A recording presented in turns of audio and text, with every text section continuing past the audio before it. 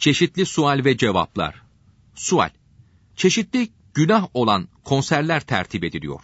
Bu konserleri düzenleyenler mi yoksa konsere iştirak edenler mi günaha giriyor?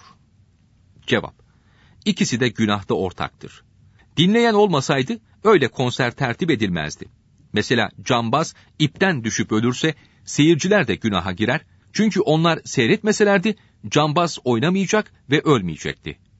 Evet, öldürülen kimse eceli geldiği için ölür. Fakat bunu öldüren de cezasını görür. Sual, bir günahı işlemek için karar verilse ama yapılmasa yine günah olur mu? Cevap, günah işlemeyi düşünmek, işlemeye niyet etmek, karar vermek günah olmaz. Yapmak günah olur. Diğer ümmetlerde karar vermek de günahtı. Bu ümmete günah olmadı. Bu da ümmeti Muhammed'e Allahü Teala'nın bir ihsanıdır. Sual: Bir günahı bilerek işlemek mi yoksa bilmeden işlemek mi daha günahtır? Cevap: Öğrenmesi farz olan şeyi bilmemek özür olmaz, günah olur. Bir hadisi şerif meali. Aynı günahı işleyen alime bir, cahile iki günah yazılır. Alim yalnız günahın cezasını, cahilse hem günahın hem de o meseleyi öğrenmemenin cezasını çeker. Bir de şu durum var. Cahil bir günahı gafletle işler, alimse kasten işleyebilir. Kasten işlemek daha büyük günahtır. Mesela cahil kendi bahçesine uzanan komşunun meyvesini yese, buna başkasının meyvesini yemek günahıyla birlikte bu meseleyi öğrenmemek günahı yazılır. Fakat alim bunu yaparsa kasten haram işlemiş olur. Bunun cezası cahilin iki günahından daha ağır olur. Bilerek kasten günah işlemek, günaha önem vermemek anlamı da taşıyabilir. İki hadisi şerif meali. Zebaniler günahkar hafızlara puta tabanlardan daha önce azap yapar.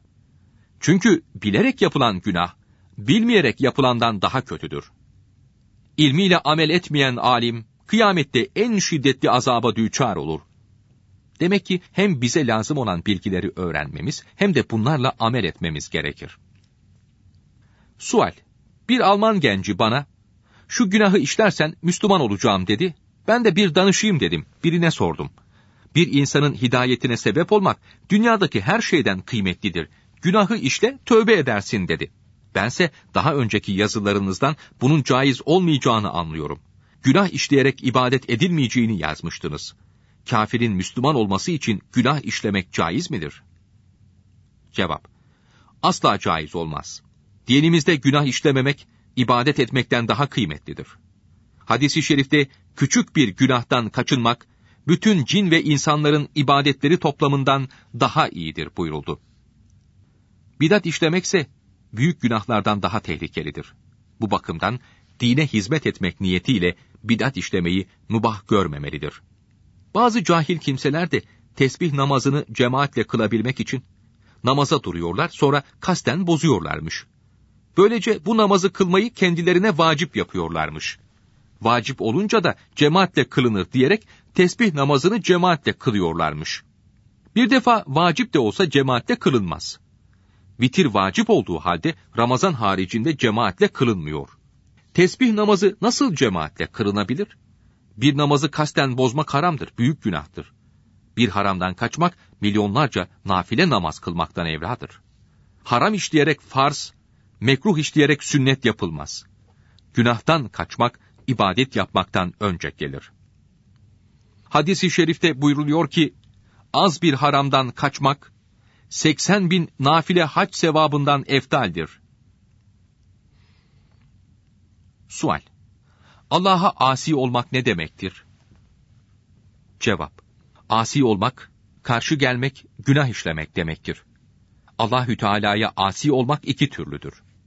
Bir, Allahü Teala'nın emirlerini yani farzları yapmamaktır. Farzları vazife kabul etmeyenler kafir olur. Vazife bilip tembellikle yapmayanlar yani kaza etmek, ödemek fikrinde olanlar Hanefi mezhebinde kafir olmaz fakat en büyük günah olur. İki, Hak Teâlâ'nın men ettiği şeyleri yani haramları yapmaktır. Haramdan kaçmayı vazife bildiği halde nefsine uyarak yapan ve sonra üzülenler kafir olmaz. Haram işleyen Müslümanlara fasık, asi denir. haram işlemeyenlere salih, mütteki denir. İttikanın yani haramdan kaçmanın sevabı farzları yapmanın sevabından daha fazladır. Sual Bir kitapta Peygamber Efendimizin Ya Rabbi bugünden sonra Osman'a günah yazma diye dua ettiğini okudum. Günah yazma demek, günah işletme demek midir? Cevap, evet, günah işletme demektir. Peygamberler hariç günahsız kul olmaz. Bir de mahfuz evliya vardır. Allahü Teala bunlara günah işletmez. Allahü Teala sevdiklerini bazı evliyayı günah işlemekten korur. Hadis-i şerifte buyuruldu ki Allahü Teala'nın sevdiği kula günah zarar vermez. Günahın zarar vermemesi iki türlü olur. Bir, kul ölmeden önce tövbe eder. Tövbe eden de hiç günah işlememiş gibi olur. Böylece işlenen günah zarar vermez. İki, Allahü Teala sevdiği kulunu günah işlemekten korur.